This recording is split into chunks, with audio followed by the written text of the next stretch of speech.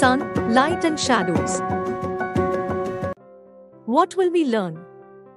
We will learn about the following concepts in this lesson sun, light, shadow. Let's get started. Sun.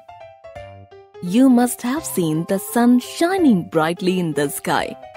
The sun is the brightest object in the sky. It is a big ball of fire. It gives us heat and light. It rises in the east in the morning and sets in the west in the evening. It is actually a star. The sun is much bigger than the earth. It looks small because it is very far from us. The sun helps us in the following ways. Sunlight makes the day fresh and bright. We enjoy the sun's warmth on cold winter days. The heat of the sun changes water into water vapor. Plants make their own food using sunlight. Fruits on the trees ripen in the heat of the sun. The heat of the sun helps to dry wet clothes.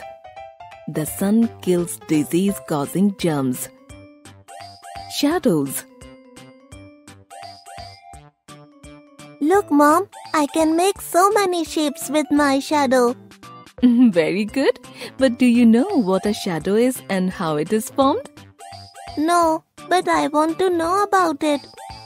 A dark shape is formed when an object comes in the path of light. This dark shape is called a shadow. Shadows are formed on the side opposite to the light source. Interesting. Have you ever noticed that the length of a shadow changes throughout the day? Yes, when I go to school in the morning, my shadow is longer.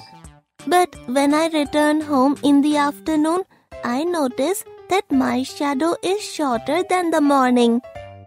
That's because the length of a shadow changes with the change in the position of the sun. Shadows are long in the morning and evening. They are the shortest at the noon when the sun shines overhead. Thank you, Mama. Now I know about shadows and why do they have different lengths. That's very good. What have we learned? The sun gives us heat and light. It is a star. Light is obtained from natural and man made sources. A shadow is formed when an object comes in the path of light. Shadows are long in the morning and evening, and the shortest at the noon. Children, hope you enjoyed learning the concepts. We will meet soon to learn new things.